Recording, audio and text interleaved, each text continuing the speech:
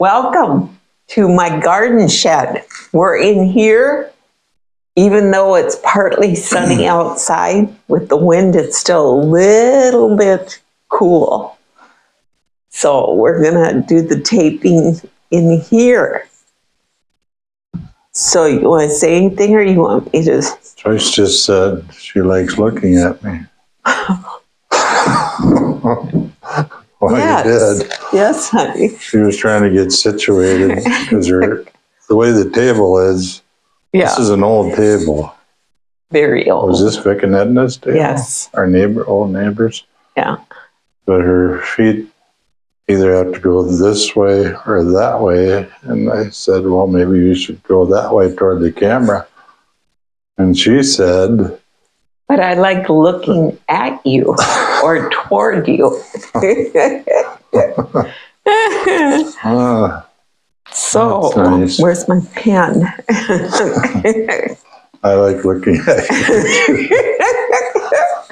you had to I say like that, did you? So we got our mics on and everything. yeah, Okay. we're good to go.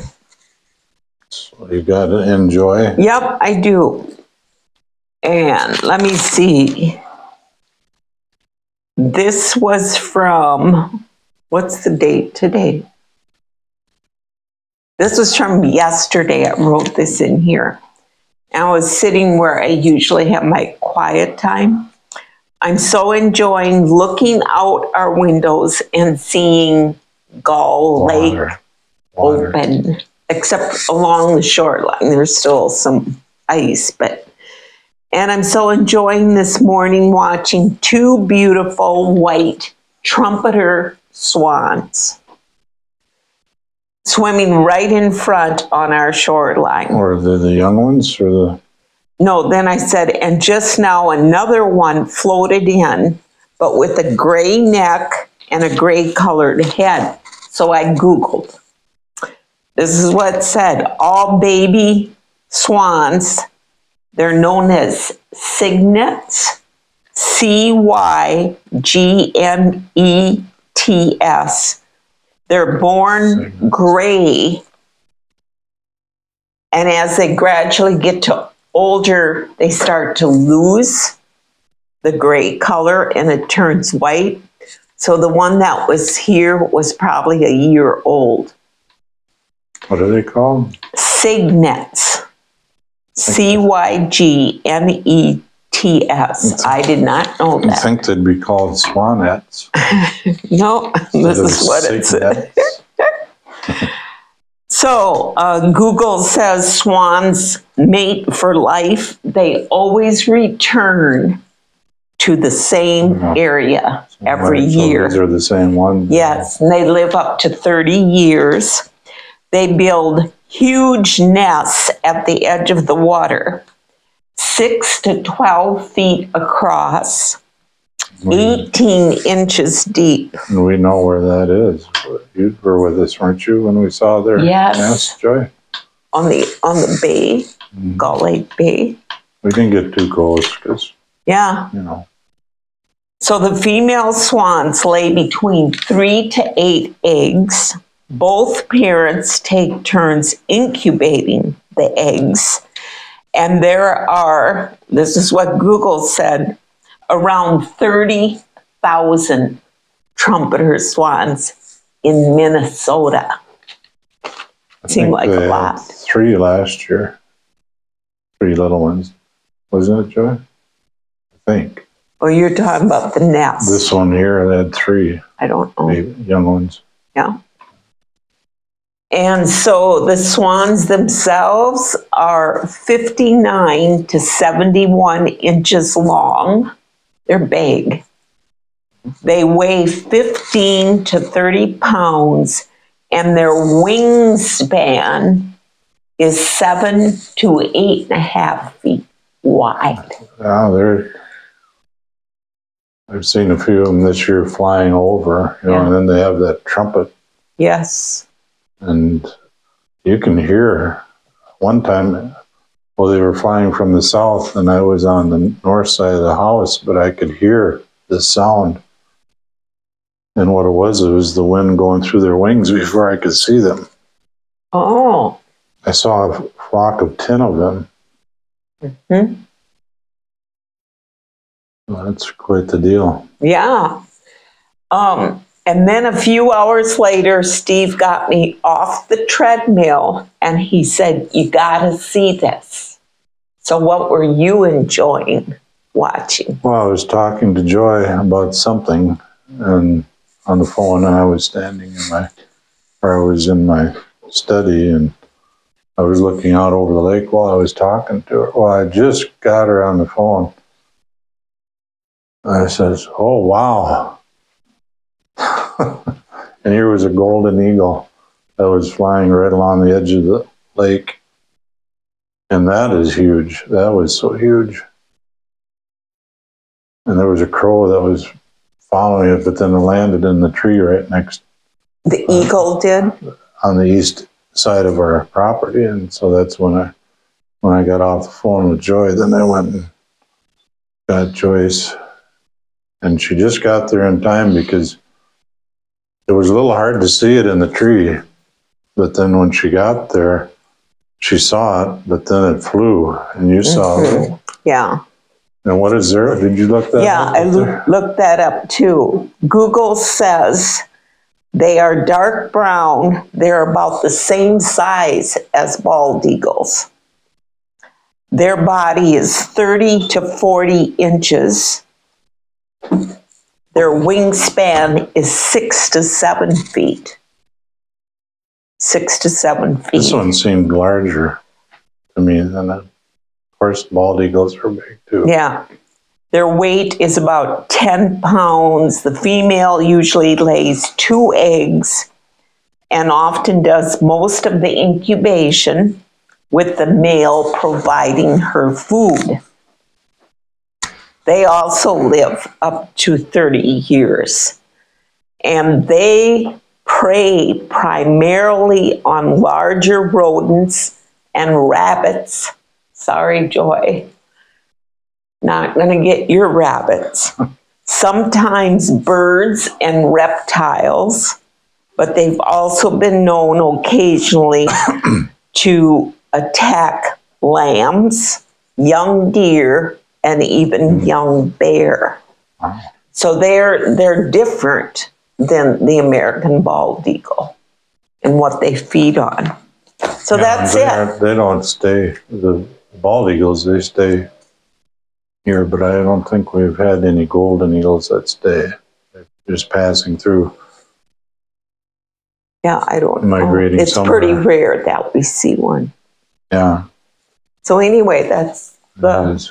Enjoy. Usually it's this time of year.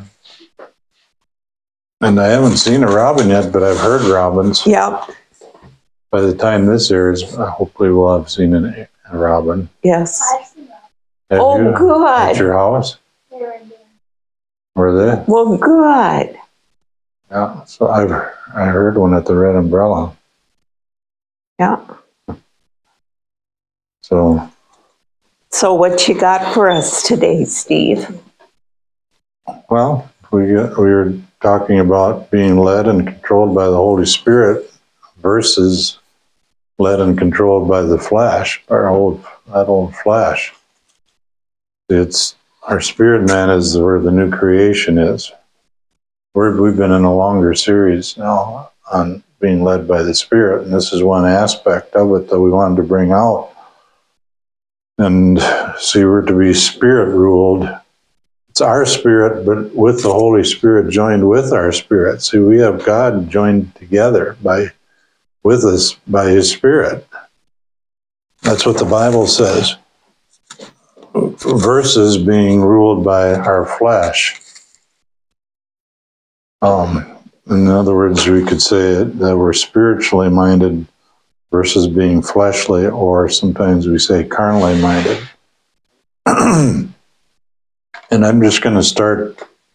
We're going to look starting at verse 11, but I am. I think I'm going to read this again, though it's good for us. And you can get your Bibles if you don't have them. This is Romans 8, starting at verse 5.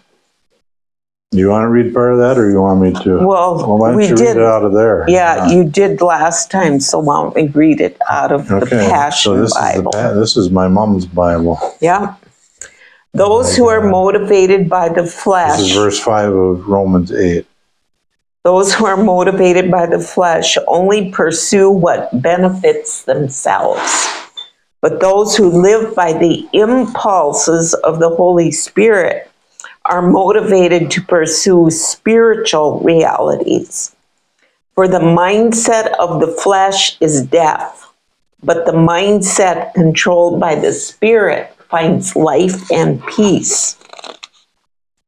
In fact, the mindset focused on the flesh fights God's plan and refuses to submit to his direction because it cannot.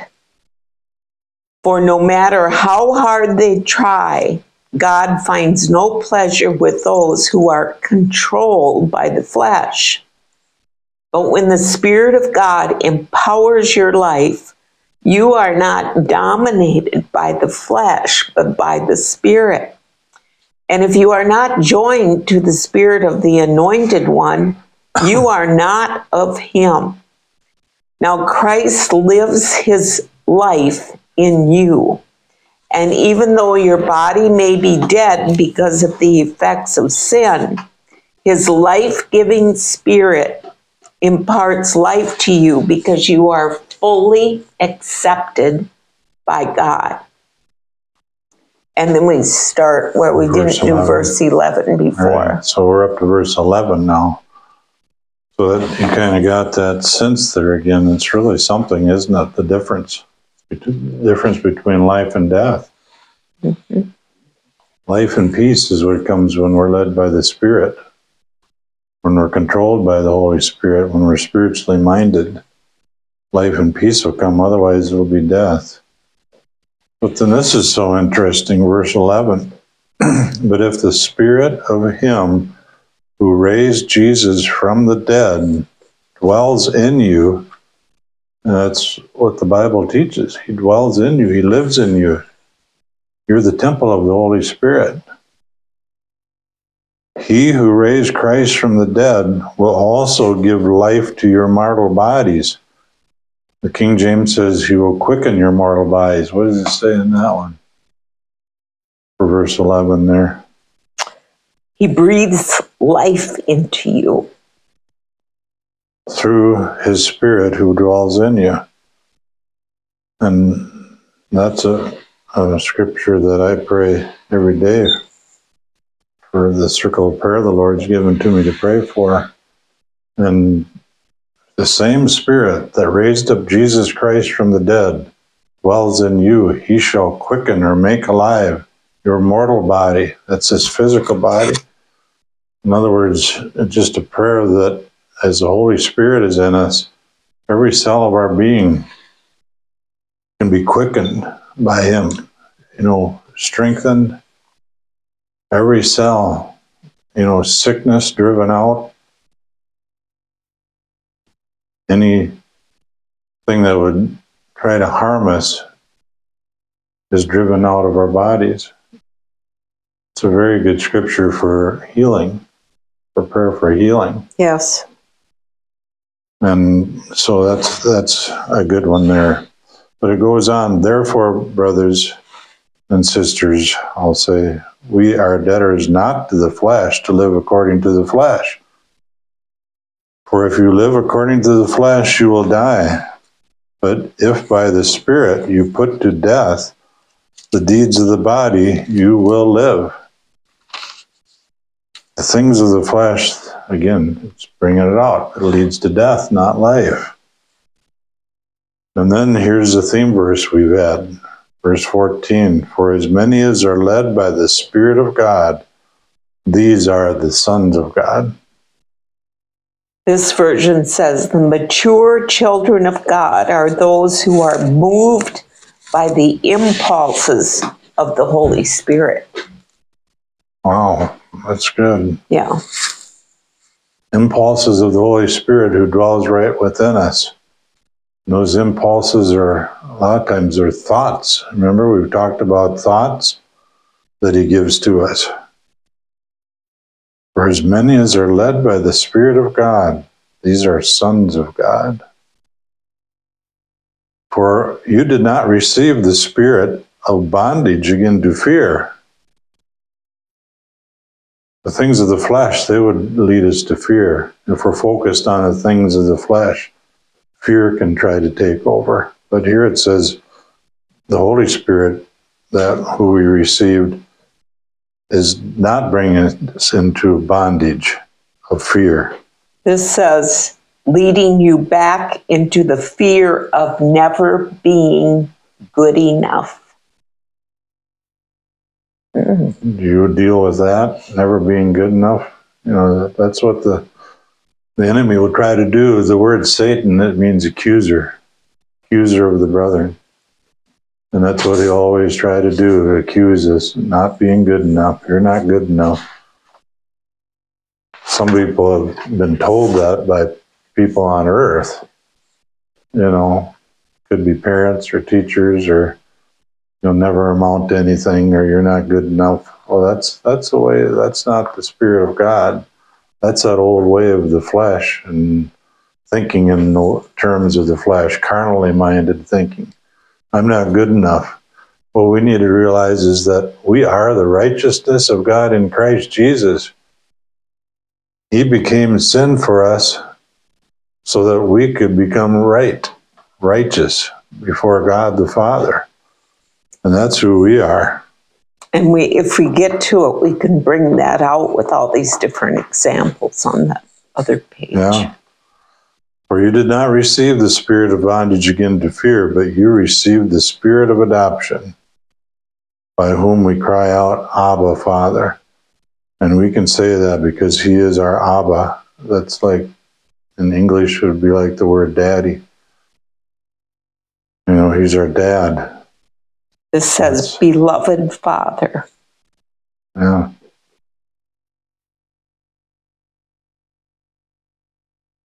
So it's you're trapped there, aren't you, Joy? Or can you can you go in the fridge? I need an energy bar. It's, there's one sitting right on. It's on the right side of the fridge, on top of that pink thing where the energy. There's some in a little bag there, and I left over from Sunday. I can tell. We uh, oftentimes we have a energy shake. We call it Herbalife. Remember we told you about that once? David and Brittany, they help us with that, and we get Herbalife shakes.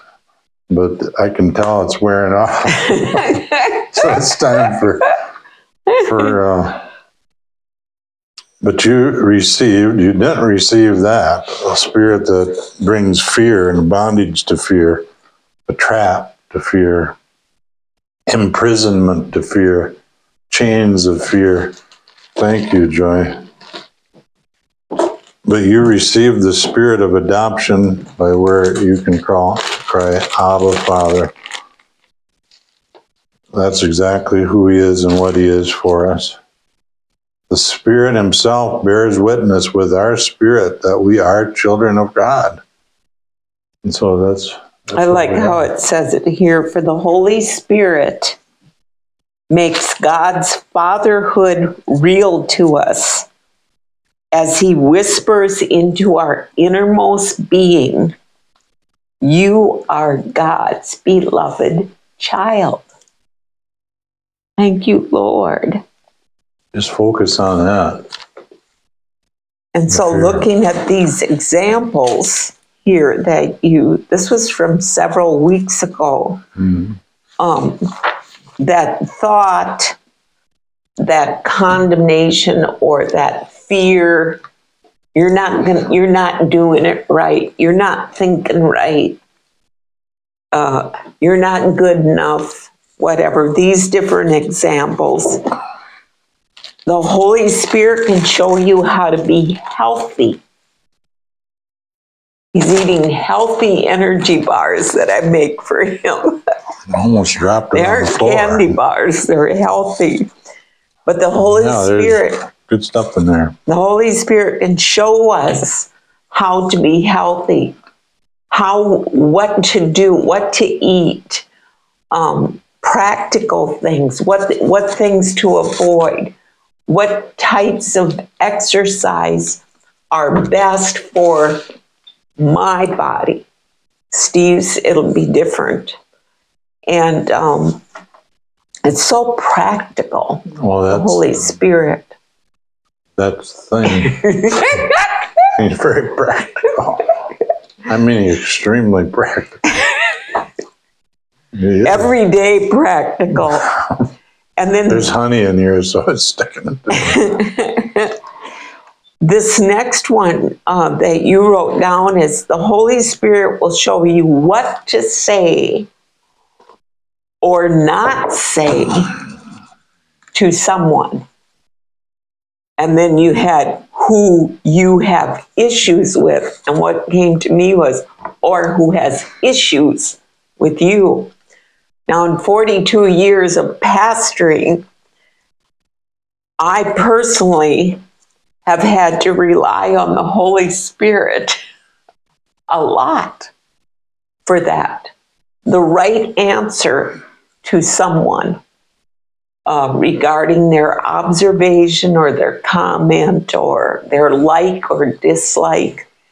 So I right away thought, oh, Holy Spirit, you're, you've been so faithful. You continue to help me to know what to say or true. not say. You know, that's been true for us pastoring, but it's true for you if Yes. you're a teacher or If you're a human being, if you work in a, anyone a anyone, clerk in a store, you know, any of the well, retail stores or or if you work in a nursing home or you know wherever. A student, if you have your own business you really run into things with customers.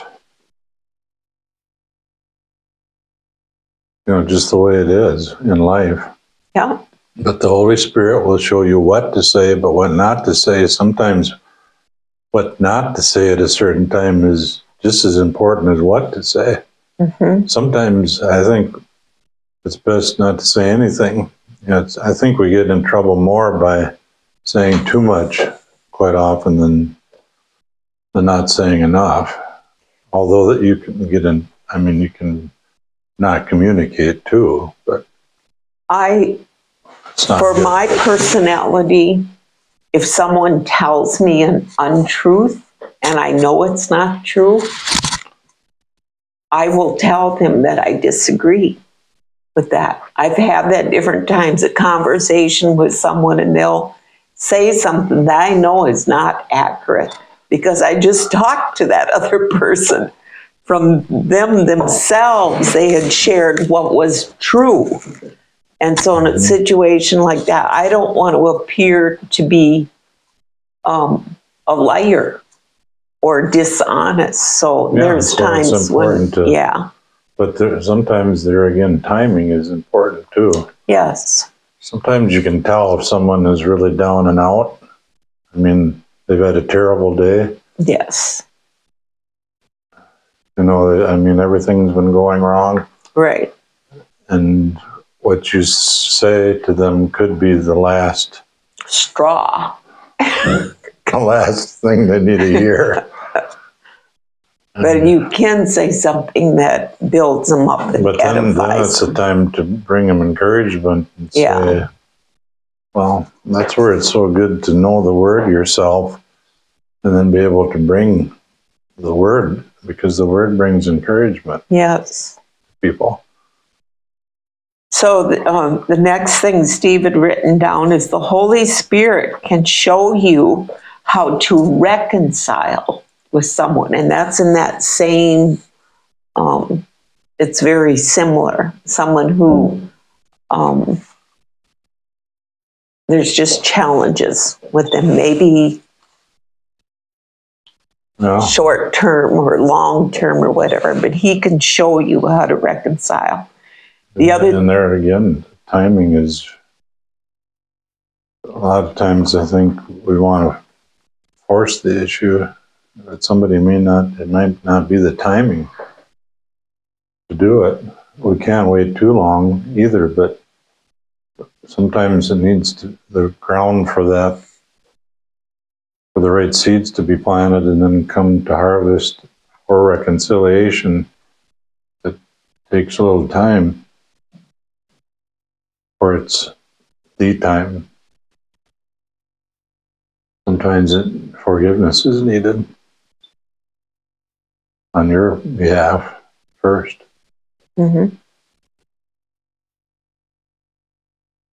That's a pretty important one, the thing of reconciliation. I think there may be people watching today that I think we're coming to the end of our time frame here too, aren't we? So I wonder if we shouldn't bring closure Sure. with that. That if you have someone that you you need to be reconciled with, you know, that can be parents, it could be children, it could be an employer, employees, customer, like we said before, or a business owner, or a teacher, or a student, or sister.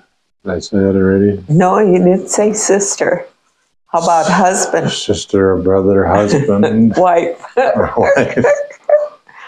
Well, let's pray right now for Yeah. you. It's not an accident that you're watching this today. And if you're led by the Spirit, are spiritually minded, He will lead you to the very things, to the very thoughts that that you need to help you to come to that place of reconciliation with that person. But it may start with forgiveness. You know, just forgiveness in your heart, and then there may come the time when you actually forgive them too, but it would start between you and the Lord. But let's pray about Yeah. that together. Father, in the name of Jesus, Lord. we pray for those that are watching today. And we pray for reconciliation, Yes, we do. that, that they may reconcile. That the thing that has come in to bring division, and along with that, like we were talking about, fear, things of the unknown, separation, Lord, that the, the, your Holy Spirit that, that lives within us, that you will guide them and direct them in the Word. They will be strengthened with your Word, with your powerful Word, and you will bring direction. You will bring the thoughts that they need and just help them to come to that place where true reconciliation may come. And oh, what a wonderful reuniting that will be. Instead of being separated, there will be a uniting. And we know that's what love does. Love always unites. Sin always separates, but love unites. And so that's what we pray for in the name of Jesus. Yes. That's enough of every name, but also going back to that scripture, Romans 8 11, that the same spirit that raised up Jesus Christ from the dead mm-hmm. dwells within you. He shall quicken your mortal bodies. And we pray that for those that are dealing with sickness, disease, Yes. and pain today. Yes. In Jesus' name, we pray for wholeness and healing. By your Spirit within, Lord, we know your healing comes from the inside out, from your Spirit out into our bodies, and we receive that now in Jesus' name. Yes. And everyone in agreement with me said, Amen. Amen. Hallelujah. Amen. Hallelujah. Oh, blessings. We love you. Have a great day.